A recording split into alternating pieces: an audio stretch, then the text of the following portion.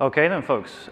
Um, let's get started. Hello, my name is Matt. Thank you for coming. Last session of the conference. Hope you've all had a good one.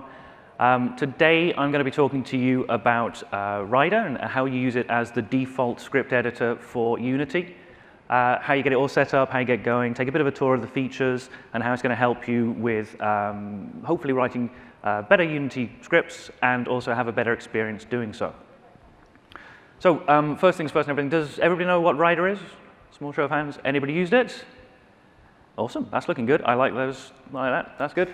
Um, for those of you who don't know, Rider is a cross-platform C-sharp editor with a deep understanding of Unity. Um, and it's important that we say this, uh, it's cross-platform in that it works on Mac, Windows, and Linux. It's the same experience across all those uh, different platforms.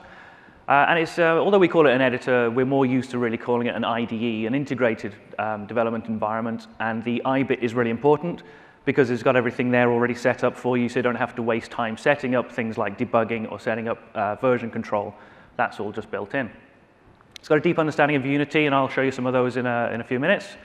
Uh, and the other thing I want to point out really is that it's based on ReSharper and IntelliJ. This is useful if you're already familiar with some of these tools. ReSharper is a plugin to Visual Studio which provides a whole bunch of useful features um, from uh, navigation to code completion and so on.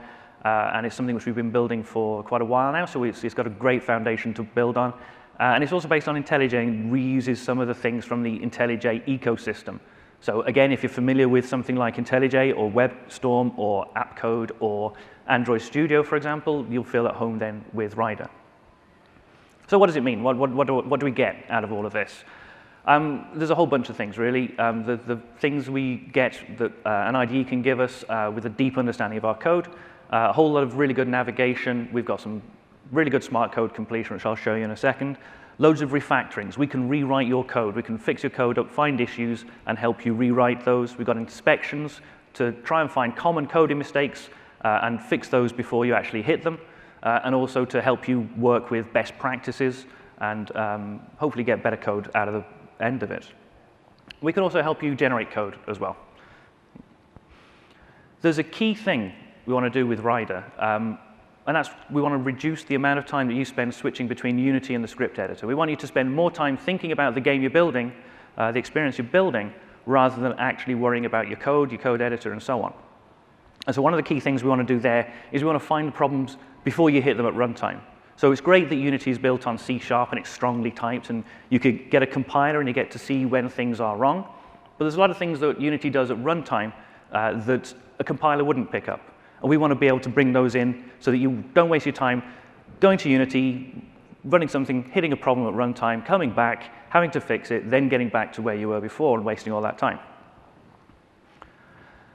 And um, basically, I've just stuck this slide in because it's, uh, it's a good one. So um, it's not just us that say it's nice and everything. Uh, we've got lots of people who are already using it and think it's, uh, it's, it's fun and useful.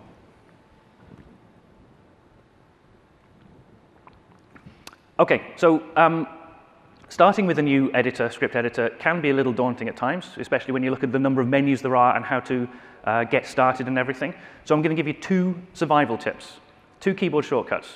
And these two keyboard shortcuts will get you uh, into all of the entry points of all of the functionality in the editor that's available to you.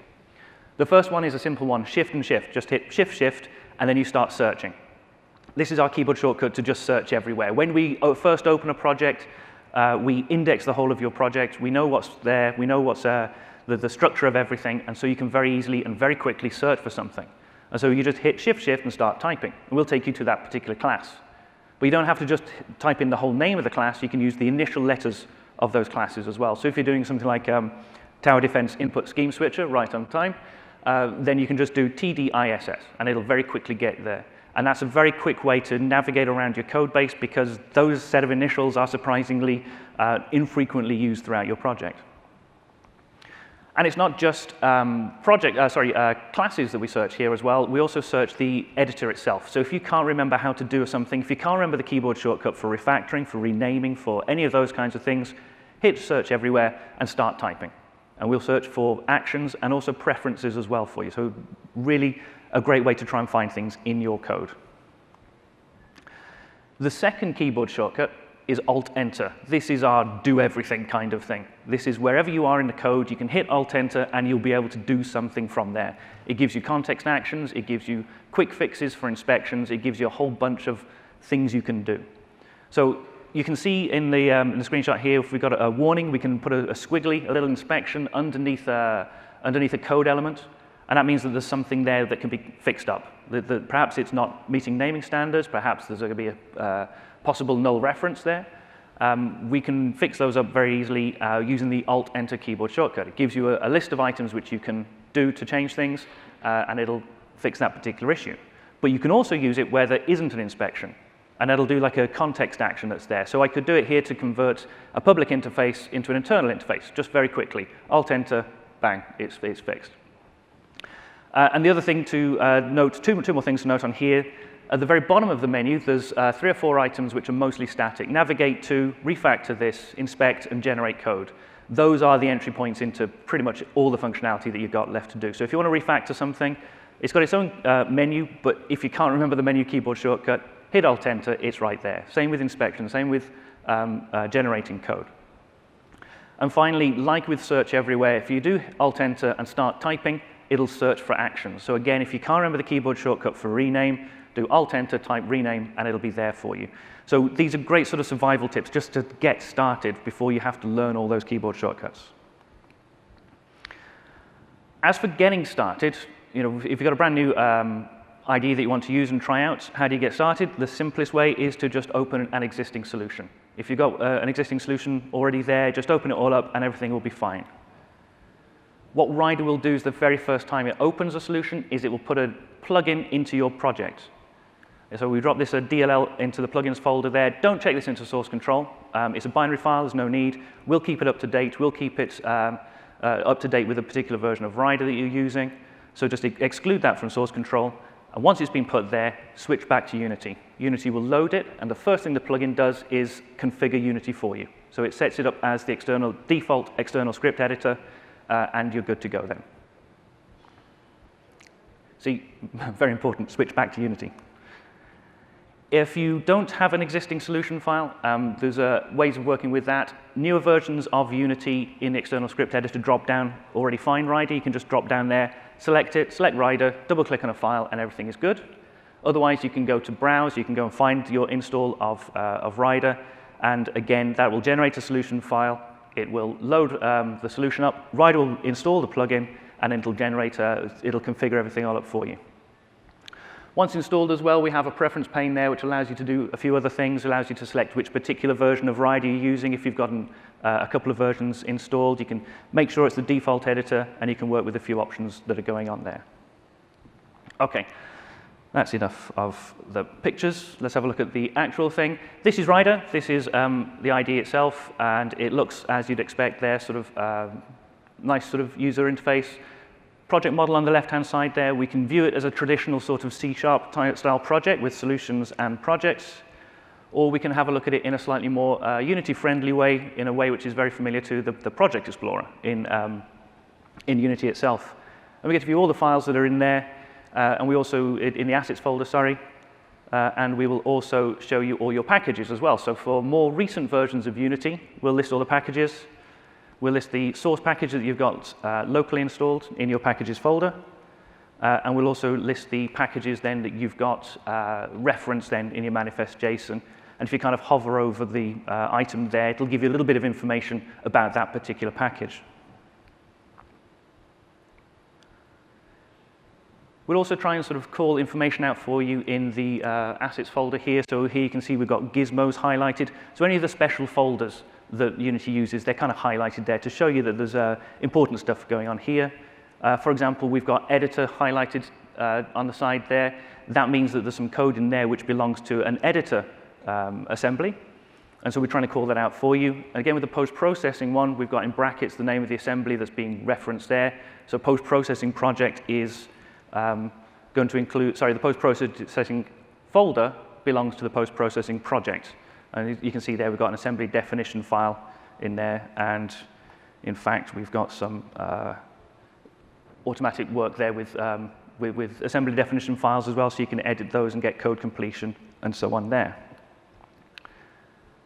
And of course, if you, uh, once you've got everything set up there, you can also just double click on a, a file there and it'll open up in, in uh, Rider as you'd expect. And here now we get to see the, uh, the code itself. And it's a nice editor uh, experience there showing you the, the, code that you've got. And here we can see now some of the um, inspections at work here. For example, we've got a, uh, an inspection here telling me that I've spelled targetable wrong, which is a nice one. Well, let's go somewhere else. Let's go and have a look. So I can do the shift, shift, and navigate somewhere else. And I can navigate to, say, um, my tower defense input uh, scheme switcher.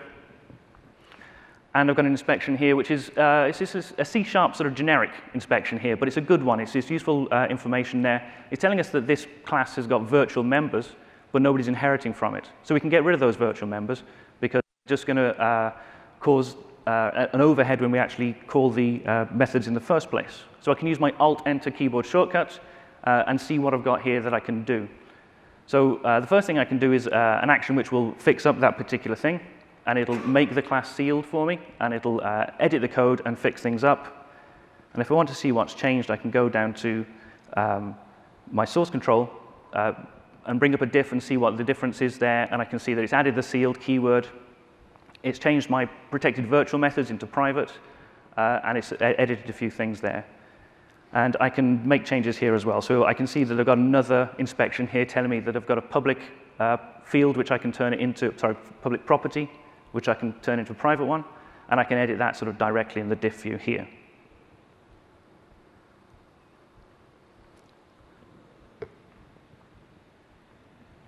Oh, excuse me. Okay, so we've got more inspections as well, useful ones here. So uh, useful one here, which is going to be like uh, telling us that we've got a C-sharp, uh, well, it, we can use a new C-sharp feature. So this is useful if you're migrating from C-sharp 4, for example, up to C-sharp 6.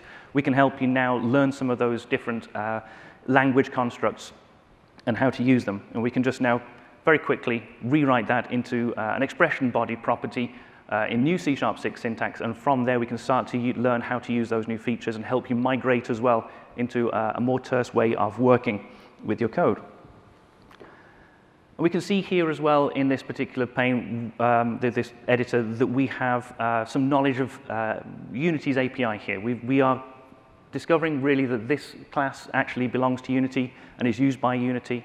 And we've got a little icon in the corner here, which is telling us now that we've got a uh, scripting component uh, we, are highlighting here that this class belongs to, um, to Unity, is, implicitly used by Unity.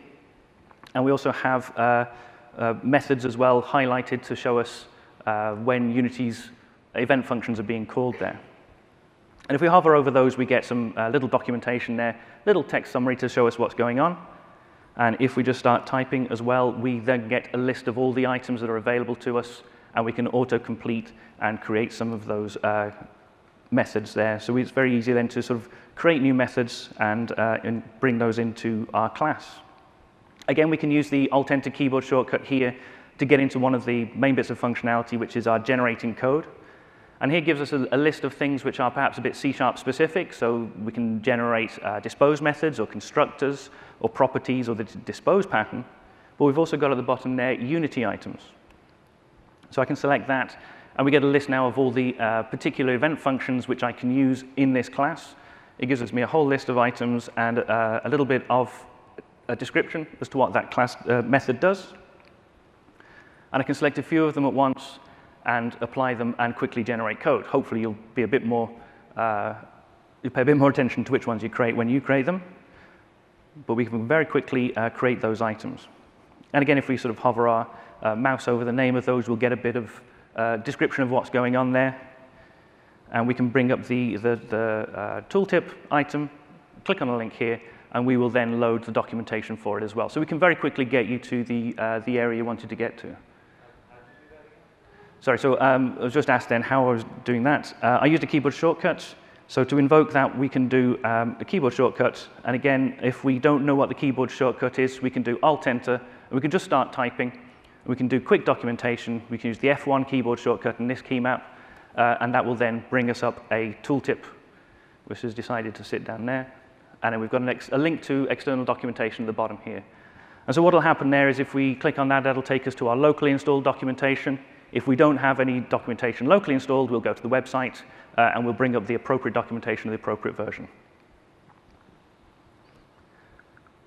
So we also know about um, serialized fields as well, and we'll, we'll, highlight a serialized field. So if I just create a new one, uh, let's just create a string of, I don't know, agents.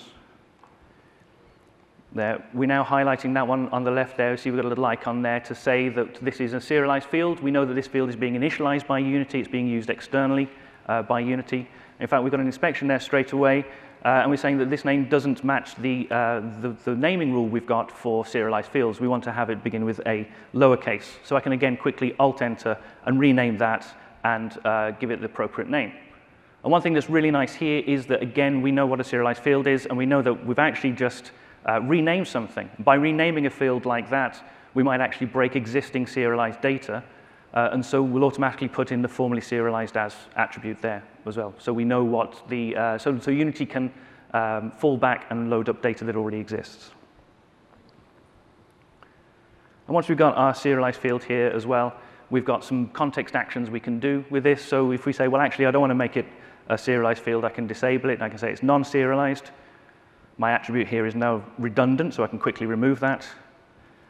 And again, I can make it serialized again if I want to, or I can put hide in inspector. And I can very quickly work around with those and uh, very quickly manipulate how my, uh, my classes work and the fields that are used in there as well.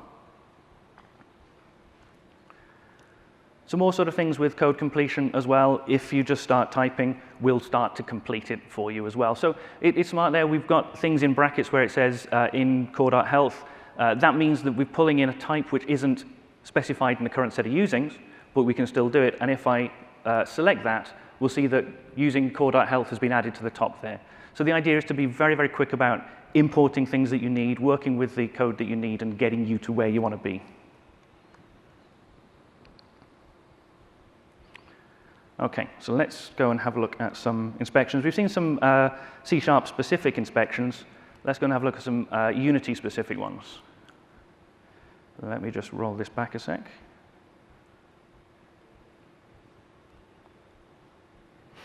Version control is great. So um, we, we have a number of different uh, Unity-specific uh, inspections here, and this is where things really start to get interesting, where things are really useful for you. We'll start to call out uh, common mistakes, common uh, patterns which are against best practices, and try and help you uh, work towards um, better practices, really. So, for example, a, a, thing like this, a nice simple one, you've got an empty event function. This is still going to get called by Unity, um, but it's not doing anything. So you've got an overhead of Unity calling uh, a method, but it's not actually doing anything. We'll call that out, and we'll give you a very quick Alt-Enter action to remove that. We have um, similar sort of things here, which will call out uh, some inefficiencies here, some performance-related items here. If I'm comparing a tag against a string literal, for example, this is going to allocate uh, for me, and I can do better than that. I can use the compare tag um, API there. And so we're going to warn you, we're going to tell you that, and we're going to very quickly be able to rewrite that uh, and call you uh, uh, and correct it for you. What's useful here as well is that if we, go, if we do Alt-Enter and we go down to the inspections menu, we get a couple of items here where we can do things like disabling it. We can change the severity of the warning if you don't care, just stop nagging me, it's fine. But one of the nice things we've got here as well is why is Rider suggesting this? And if you select that one, we open up a, a, new web page which has got an explanation of what's going on here. So it's not just blindly giving you, uh, well, shouting at you and nagging you to change something. We're trying to give you proper qualified advice and help you then to give you the reasons behind this inspection and the reasons behind uh, what's going on there. So we'll also link off to the documentation here, we'll link off to the Unity documentation, we'll link off to, to Unity's blog posts and provide you with proper information for working with it. Um, we have a, a, whole load of other interesting inspections here as well. So we've got uh, things like uh, you using get component uh, with a, a, string literal here, we're saying you know, that's an overhead there because it has to convert the string literal and look that up and find the actual type there. It's going to be much easier to use the generic item. So again, a quick Alt-Enter can rewrite that for you, use the generic item. Um, we've got warnings here to say you're using uh, a version of raycast all which is going to allocate, and we can actually help you there and say you want to use a non-allocating version of that. And so we can do Alt-Enter, convert it to the uh, raycast non-alloc, and rewrite that for you and leave you in a position now to uh, pass in an array so that you don't have to allocate your, your data. Similar thing then with something like overlap box and with other items there in the physics uh, namespace which have got um, uh, non-allocating versions of them. We'll also give you warnings as well when you're doing things like camera.main uh, being used inefficiently inside an update method there. So update is being called frequently there. You don't want to be using camera.main because that's going to call uh, get component, and, and it's an expensive call. And in fact, we're taking this further in the next version that we're working on at the moment, uh, which we are trying to add in some new performance um, inspections there, specifically for when you're in a performance-sensitive context. So when you're in an update method or a late update, fixed update method, so on, we know when there are uh, some expensive methods being called, and we're going to highlight those for you. So for example, here we've got an update method, which is calling get components. And we know the get component here is expensive, and so we're going to highlight that for you. We know that doing a, a comparison against null is expensive. It's going to do a native call, and so we're going to highlight that for you. But the difference here is that this isn't a, a squiggly kind of warning, nagging kind of thing, because you might actually want to be doing this there might be a legitimate reason for you to check against null. But we want to inform you now that there's a cost to this, so you don't just uh, go in and do it. And we can do this with, uh, with coroutines as well. So we can recognize now when a coroutine is being used, uh, sorry, when a method is being used as a coroutine, and when you're using an inexpensive method in that particular instance. And one thing we can do nicely with coroutines as well is that we can navigate between them. So I can do find usages on my, uh, my coroutine method here, and it'll take me back to the string literal.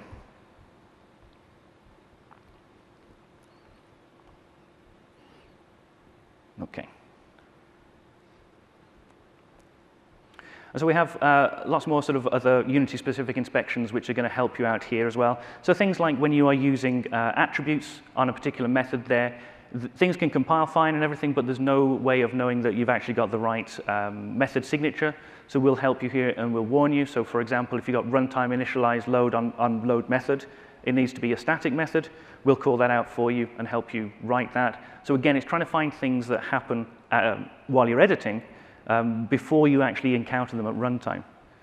Similar sort of thing here on post-process uh, scene where we've got the wrong parameters being passed in we know what parameters it should be, and so we can help you fix those up and help you get those correct.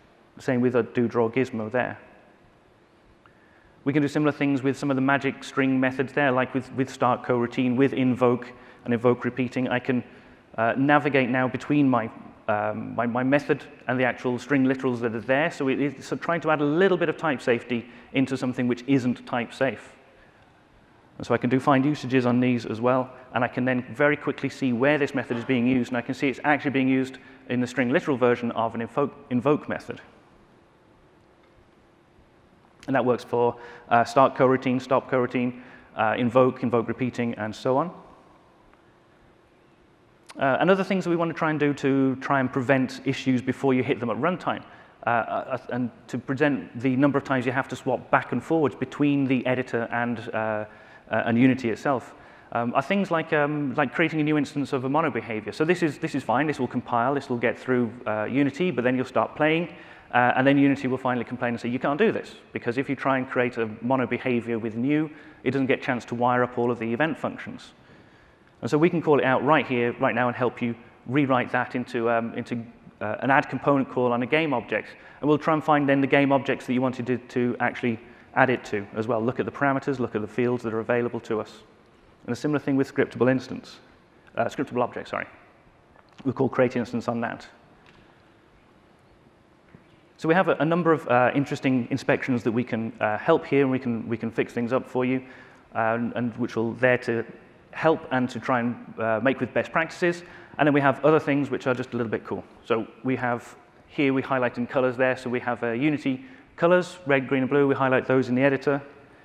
And what I can do here is I can also hit Alt-Enter, and I'll get the chance to pick it from a palette and save it, and it will then uh, show it in the editor and highlight it nice and dark. Let's pick a different color. Let's go with blue. And what's more is if I've got my game available to me there, I can use the uh, color picker and go over to my game and select the value then straight from the game there and use it directly in the editor. Uh, this also works um, in uh, shaders as well. So for example, here we've got a, a, color. We can do the same sort of thing here, pick it from the palette, uh, or again use the color picker then to actually go off to, to where the color is being used and pick that up and use it. Um, more support for stuff in shaders. You know, we've got to have some uh, syntax highlighting, uh, syntax error highlighting, um, also some things like uh, where values are being used and some code completion. Uh, more work in there as well. And um, yeah, so it, it's cool. that shaders. Um, what should we look at next? Yeah, so, so that's good. Uh, and then, of course, the other thing that the, um, the plugin that we do, we drop in the plugin. Let me just show you where that is again. So we have the, the plugins folder here. We put a plugin into your project. You don't check this one as source control. That gives us a, a number of things we can do, uh, which is uh, very useful and very cool. First thing we can do, for example, is we have a play button on the toolbar there, so we can actually switch your code into play mode. And let's see if that's going to work, or if I have compile errors. Yep, so there we go. It's just compiling the scripts, switches into play mode, uh, and we're good to go. And here I can control that, and I can put it into pause mode, or I can flick it back into uh, play mode uh, straight from the, the, uh, the editor we've got there. And of course, we set up the debugger as well. So when we recognize that you're opening a Unity project, uh, we'll configure the debugger automatically. So it'll automatically connect to the, uh, to the Unity editor, uh, and it'll also uh, add another configuration where we can attach to the editor and play. We just need to hit the debug button then, and we lose Unity. it's great.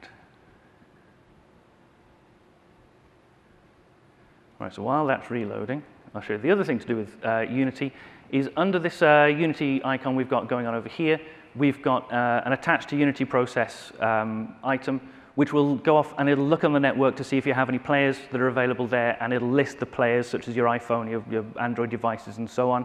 Uh, and it'll list those there, and we can click those and attach the debugger to those as well. So we can debug uh, your players. It'll work with the IL2CPP backend as well, which is uh, very useful for working with things. And let's see, where are my scenes?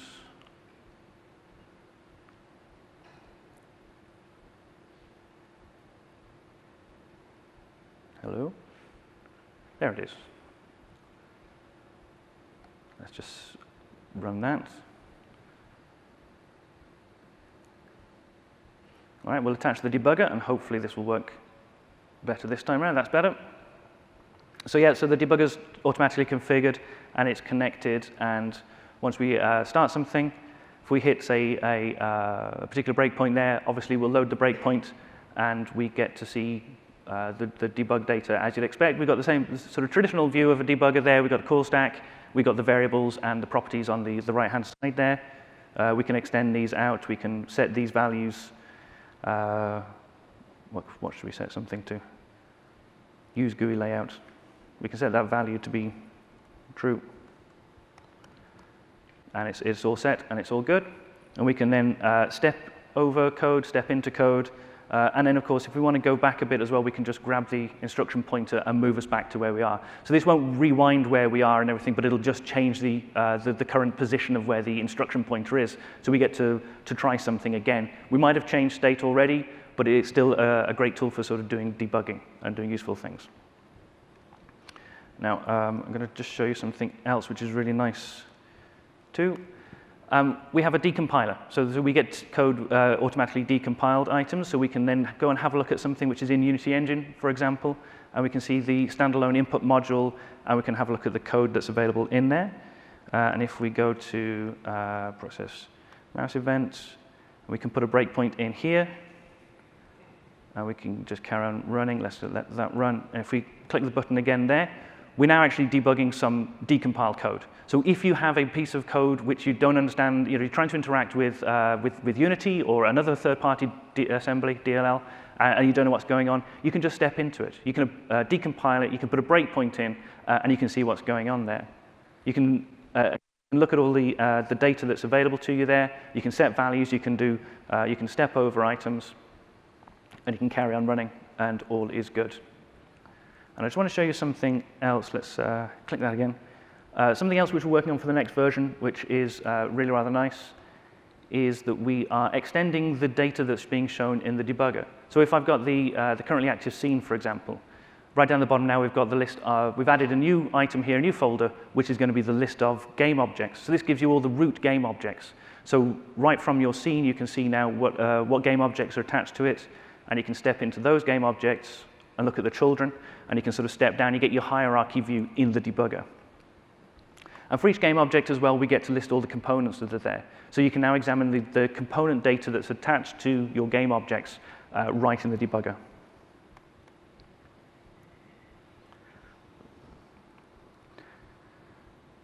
Okay, so uh, where are we here? Right, so one thing which is nice here as well is if we uh, start off a, a, a, wave of the game here, we get to see now that we've got some items coming into the console. So we're logging every time an enemy is being spawned here, and we get a, a, log event happening, and we get a block of code, a block of text here which we can't do anything with. It's uh, useful information. It's clearly a stack trace. It's clearly something uh, useful and code related, but it's not where our code is. So thanks to our plugin, we've actually bring that into, uh, into Rider itself as a, uh, as a tool window. And we get to click on those items there. And where we had a block of text now, we've got a parsed stack trace. So you can actually now sort of navigate around, and you can click on these links here to take you to wherever you want to go. Uh, and also click on the, uh, the method names and navigate uh, around the methods, and also the classes themselves as well. So it gets you to uh, use that console information where you need it, which is inside the editor itself. Okay, I'm going to switch projects now, and uh, let's have a look at that one. we're going to talk about uh, unit testing. So we'll do unit testing? Thought so. Yep. Um, right, well, we want to help you do unit testing as well. And uh, if, you've, if you've tried it with NUnit in, uh, in Unity, you know that if you're trying to use any of the Unity APIs, you have to be running in the Unity instance. So uh, a very simple sample project here. If I try and run those, uh, they have to run in the Unity instant editor instance. Uh, and I've got this uh, editor uh, window which I can use to do things. And if I've got an error going on here, again, it's a block of text which I can't really do anything with, but I need to go over back to my editor to work with. Um, well, Rider will actually be able to help you with that as well. So we'll discover tests in the editor itself. We've got a little icon here, and we've got a, a little icon uh, next to each particular test itself, and we can run all of the tests, again, just with Alt-Enter and run all uh, or we can run one test in particular. That will tell uh, Unity itself to run the tests, and we'll display the results here for you. And again, we've got something here, if there's a, an error, we've got a stack trace which we can click on, which we can navigate to, get you to where the error is, we see what the message is, we can fix up the issue. Uh, if I save that, and then if I just run the test again, hopefully, once it's refreshed, yeah, we're, we're back to green, and, uh, and we're all good. And so we're going to want to try and help you write unit tests as well and work with that. Currently, we only work with um, edit mode tests, uh, but we're working on adding play mode tests in there as well. Okay, so I think that brings me to the end of what I want to show you. So um, these are some of the things that I've shown you then, really, uh, which we've got, which are Unity-specific features. There's a, a, whole load of things there. Um, sort of, you know, the debugger's automatically configured. This is really useful. Being able to debug players is also, also very helpful. Calling out the, uh, the Unity, the, the, the methods and the fields and the classes that are being used by Unity is right there on the editor, on the editor surface for you. Uh, lots of inspections, and the key thing I want to show you with that one is the why is Rider suggesting this. There's a lot of information behind some of those suggestions, not just the Unity ones, but the uh, more C-sharp generic ones as well. There's lots of information there as to why those are being uh, um, worked with as well. We've got uh, support for file templates as well, so you can create new files, uh, and you can define your own file templates and, and, add those in so you can have things how you want them to do. Uh, and we do silent project reload as well. So if you add a new file, Rider will just load it. It's fine. we won't bother you asking you. It'll just get added in, and it's good. Because we're built on top of ReSharper, which has been around for a good while now, we get well over 2,000 inspections, um, well over 400 context actions, uh, and well over 50 uh, refactoring. So there's a, a depth to uh, the, the, the, functionality here that you can use. And you know, just as a very quick list of things which are just standard Rider features which are not uh, Unity specific. There's a whole bunch of really cool things in here. Uh, code formatting, um, very configurable code style layouts, things like um, highlighting regular expressions. The decompiler I've shown you there, the uh, version control system, the diffu. Uh, version control, we've got a really cool tool in there, which is uh, local history, which is kind of for when you change things in between check-ins. So it's that whole thing of it was working 10 minutes ago, I wish I could just roll back 10 minutes. That's exactly what local history does. It takes snapshot of your, snapshots of your code as you're working and allows you to very quickly roll back to something. Uh, and of course, then the, because we're based on uh, IntelliJ, we get a, well over about 1,000 plugins which are available for Rider at the moment, as well. And very, very, very importantly as well, there's a dark theme. So uh, we've got you covered there. Uh, and if you want to get a hold of it, uh, you can download a 30-day trial version, um, jetbrains.com slash unity. If you're a student, you get it for free. Go to, to uh, jetbrains.com slash students. and we also do a 50% discount for startups as well. So uh, I'm just going to finish off now. I'm just going to say thank you. Those are the links there if you want to get it. The uh, Unity-specific part of Rider is actually an open source project. If you want to raise issues, you can do so against that, the, that on, uh, on GitHub. Uh, if you have any questions, you can ping me on uh, Citizen Matt on Twitter there. Uh, and other than that, I'm just going to say thank you. And I think we have time for questions. And if anyone has a question, there's microphones at the back there. Um, so thank you.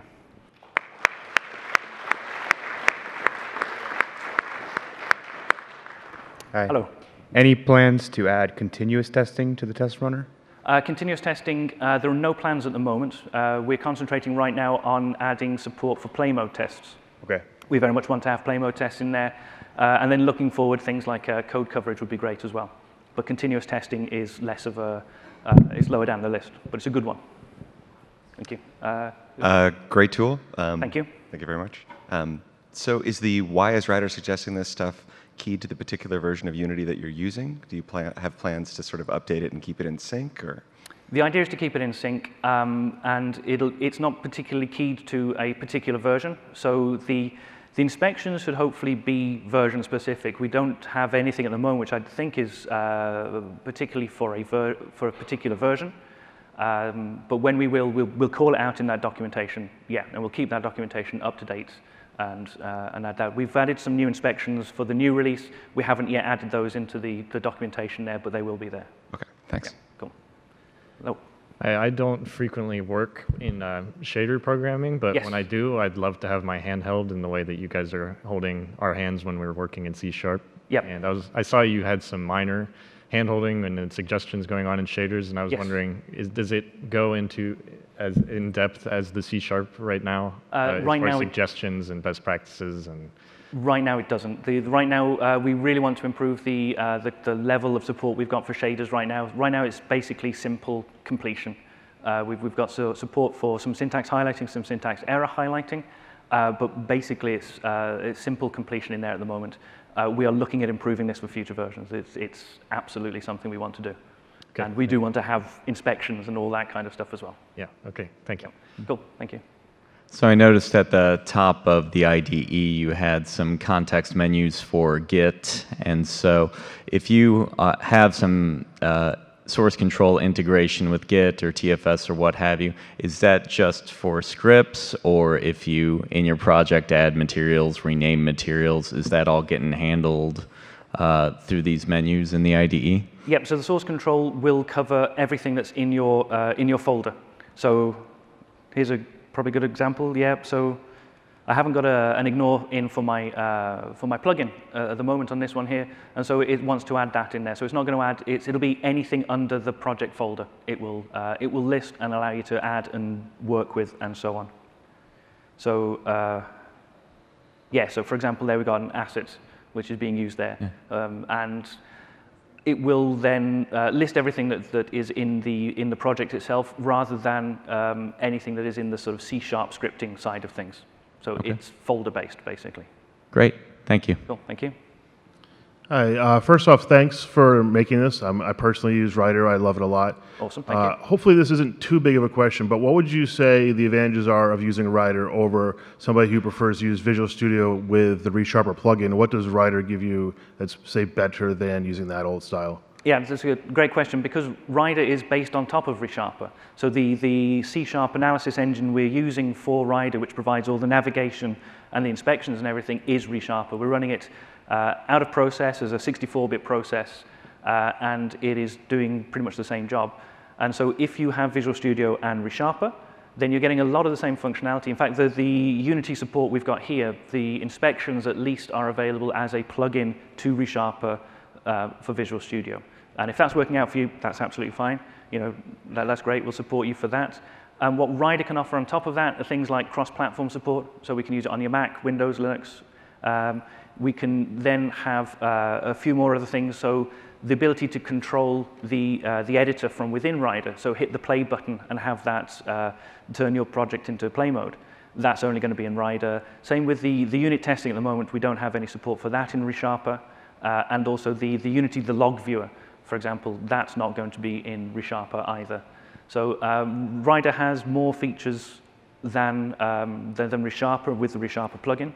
Um, and so, uh, yeah, so those, those are kind of the main differences. The other things then are the differences between sort of Visual Studio and ReSharper and Rider itself. And with that, it's the cross-platform. It's the having things in separate processes, having access to a 64-bit process, so better use of memory and better use of garbage collection, uh, and so on.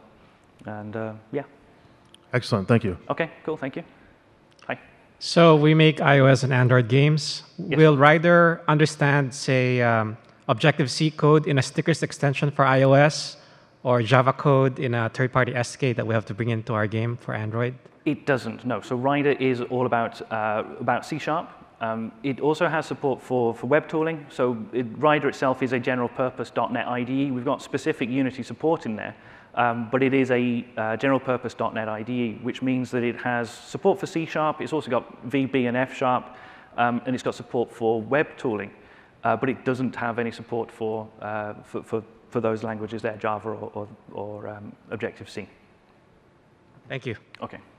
Thank you. Hi. Um, so if you're doing work in a solution outside of the Unity project and you build and copy the DLLs into a Unity project, will you still be able to use the uh, Unity attached to process log output, for example? Um, yes. So we have added support.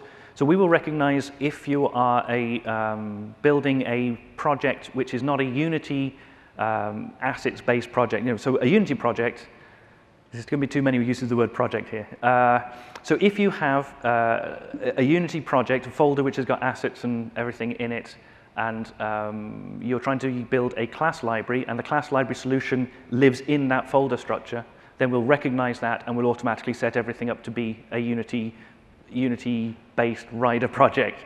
Um, everything's project-based. And we will then give you all of the Unity features that I've just shown you. Uh, we will also uh, recognize when you have a Unity engine DLL reference in there and uh, set things up that are there appropriately. If things are not available, you can just do edit configurations and you can add, and we've got the attached to Unity editor here as well. So you can manually configure some of these things and manually add them in if they're not automatically there. This sort of drop down here probably won't be visible in that particular case. So our attached to Unity process for attaching to players won't be visible there. However, it's also in the run men menu here, so you can attach the Unity process. So you should be able to do everything manually um, if we haven't automatically detected that this is a uh, Unity project. One of, the, one of the key things is knowing um, which Unity editor instance you're talking to, and that's best known by being actually in the Unity assets folder structure. Thank you. Okay, thank you. Hi. Um, I was curious, uh, will Rider be able to create managed libraries? Can you create managed libraries? Yeah. Yes, absolutely. So um, you can use it to create a standalone uh, project. So we can just go to File, New, and we've got a whole bunch of templates here. As I say, it's a general purpose .NET IDE there. We've actually got a template here, which is a Unity class library template, which will uh, include a, uh, a, path to Unity Engine DLL there. You can specify your own path. We find it by default and, uh, and populate that. But you can specify your own and do that and, and just set up a, a class library which you can then drop into your um, Unity project as a, as a DLL asset. Perfect. Thank you. Okay, cool. Thank you. One last Uh, question, I think. Another um, version control question. Yes. Um, are you guys going to be compatible with Unity's Collaborate at all? No, we're not. There is no API to collaborate. Okay. So uh, we, we, can't, we can't work with it. Gotcha. So no, we, we, we work with, um, with Git, Subversion, Mercurial, um, TFS, Perforce, uh, and I think there are a couple of uh, plugins for things. I think Plastic have a plugin for it, uh, which you have to download from their website. Uh, but that's about it, I think. And I think that leaves us out of time. So uh, I just want to say thank you for coming. And um, please download it and give it a go. Give the trial version a go.